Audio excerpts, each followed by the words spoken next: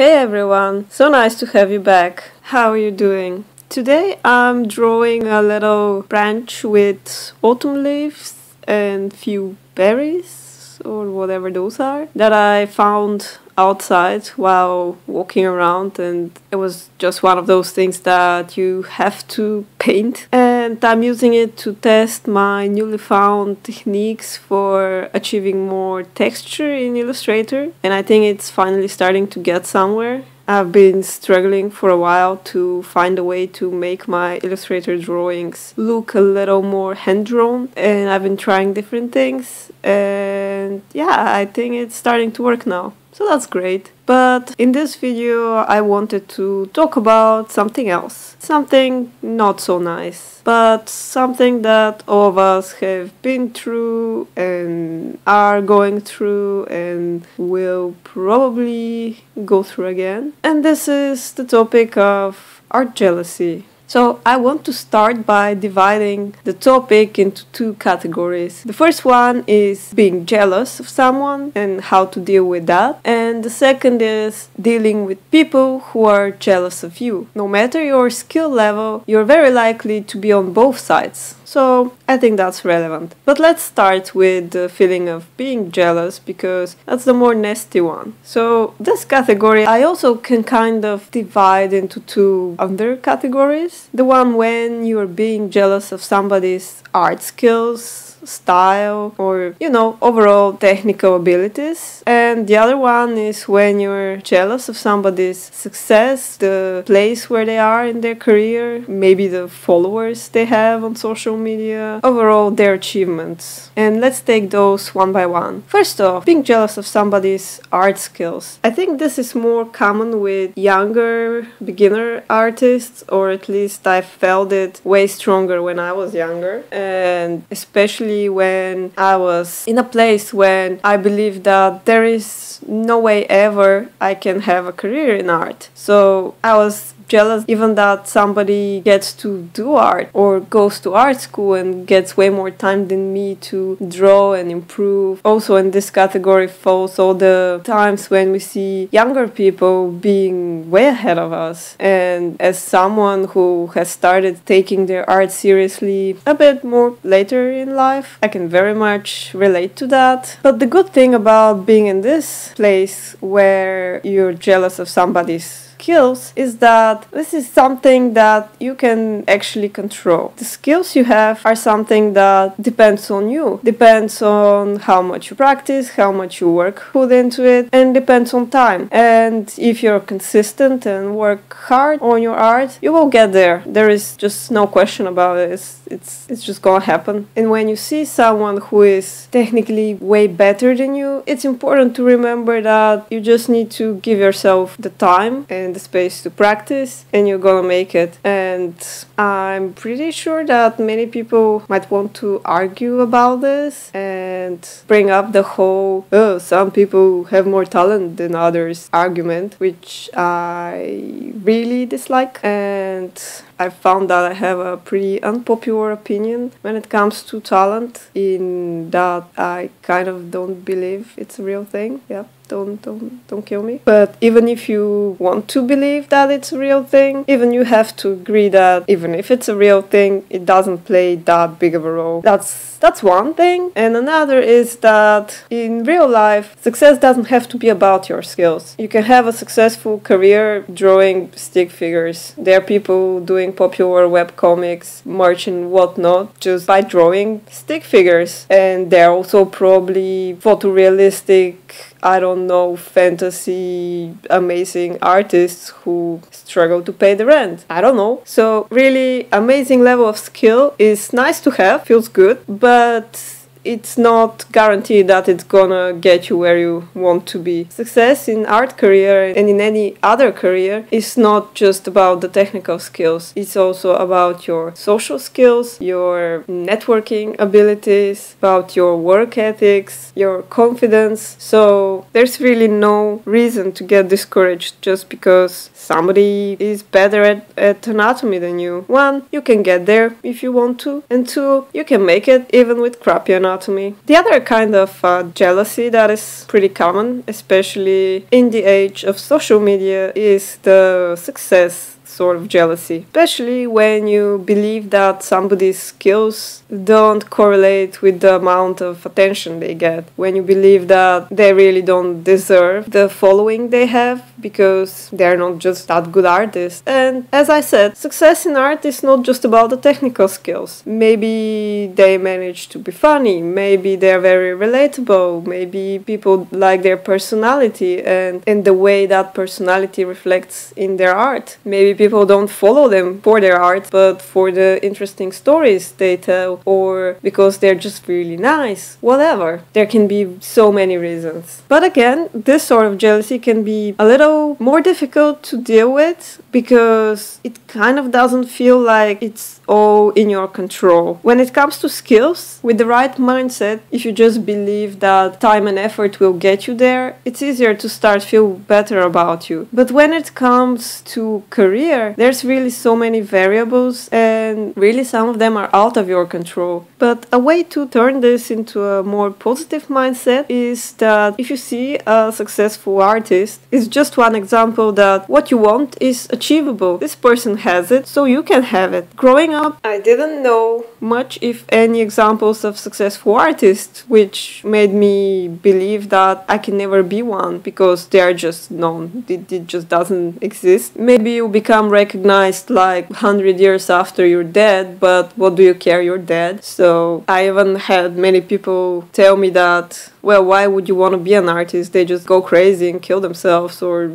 they die in poverty, and all kinds of horror stories. You know, you probably heard them. So, seeing somebody's success is actually a really good thing because it just means it's possible, and that's really motivational. A little personal story from a week or two ago, I don't know, it was fairly recently. I came across an artist on Instagram, and I don't know what was with me that day because I haven't felt that intense jealousy in a very long time, but for some reason I was just like instantly hating this person because I don't know why. I don't really know why. Because their art was good, that's true, uh, but it wasn't really what I'm striving to be with my art. It wasn't that they had the sort of style that I want to have or the sort of skills that I want to have, or even their following wasn't that great. So they were pretty much about this same place as me, really. I have really no idea what sparked it. Maybe it was just a weird day for me. But I don't know. I saw it and I just, ah, I was like, damn it, why is this not me?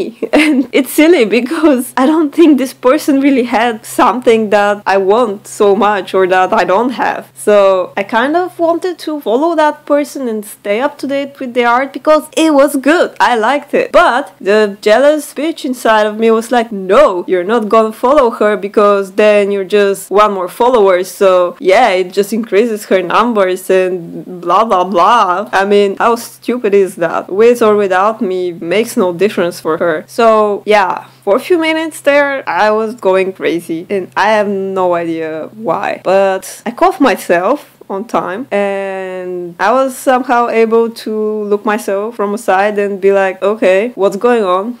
Please pull yourself together, don't be crazy. So now what we're gonna do is you're gonna follow this person because she has really good art and I wanna see more of it. Second, you're gonna go around and leave bunch of positive comments because she deserves to know that she's good. And also, don't just go and write, oh, cool art. Like, that's not gonna do it. You have to come up with really thoughtful and personal comments, and you're gonna do it right now. So, I took a few minutes to do that, and in, in seriously just a few minutes, I felt totally differently. I, re- I liked this person, and I went around and looked her up on other social media, and she seemed like a really cool person, and I was like, yeah, I could totally be friends with her in real life, and and it could be great you know. And then all of a sudden i felt really positive and really happy and i wasn't feeling jealous anymore and it made my whole day afterwards better. So yeah, that's a little thing you can try next time you you find yourself being jealous of someone because the way this often can go is uh, you might sit there and try to find the flaws in the person's work and leave negative and hateful comments trying to bring the person down and you know maybe you will succeed maybe you'll bring them down but you also bring yourself down and i guess that's more important to you so really force yourself to be nice even if you really don't want to be nice. And it's going to feel amazing i promise. Okay so let's jump on the other side of the fence what if you are the person that other people are jealous of? Personally, I never had a lot of artsy friends, especially when I was younger. I wasn't in an artsy environment, so I didn't get a lot of people being jealous of my art around me. But I have had to deal with friends who were jealous of me for other reasons, and it made the friendship kind of unpleasant. For example, when I was like 11, 12, I think, had this friend who felt very insecure about her school success. Or, well, I think that she was very pressured by her parents to perform great in school, and that's not helpful. So, we were very young, so it wasn't entirely her fault. It's not that she was a crappy person. I, I think that she was dealing with some really heavy pressure from her parents, and they have probably compared her a lot with her friends and made her feel bad about herself. I'm pretty sure that was the case because I've, I've heard things. In reality, she was doing in school just as well as I was doing. You know, sometimes I will do a little better, sometimes she will do a little better. Most of the time, we were doing pretty much the same. So there was really no real reason for jealousy. But I felt like half, if not most of our conversations were something like, oh, I wish I was you. I wish I was as good as you. I wish I was as smart as you. I wish I did as good as you. And all of that, which made me feel like I didn't want to be as good because I didn't want her to feel that bad. And I felt guilty every time I did better in school than her. And when she did better or when she did just as good as me, she would say that it was just luck, but she's not really that good. Maybe the teacher didn't understand that she was actually making mistakes. I don't know. It was insane. She really had major confidence issues and they were amplified or maybe entirely created by her family which is really sad. And I wanted to help her and I wanted to be nice to her, but at some point I started to not enjoy this friendship because it was all about how amazing I am and how stupid she is. And I knew that wasn't true, but there was nothing I could do about it. So eventually we drifted apart. And when you have a friend like that, if you can't help them deal with their issues, I mean, if I knew her today, I would have try to talk to her and, and maybe try to make her feel better about herself. But at the age I was, I couldn't think that deeply about it. It just it just became annoying at some point. Also, there were times when I would try to reflect back her behavior towards her so i would be like oh no you are really smart i wish i was smart like you or i don't know i didn't know how to handle it so anyway that friendship didn't work out but the point is, if you have this sort of friend who is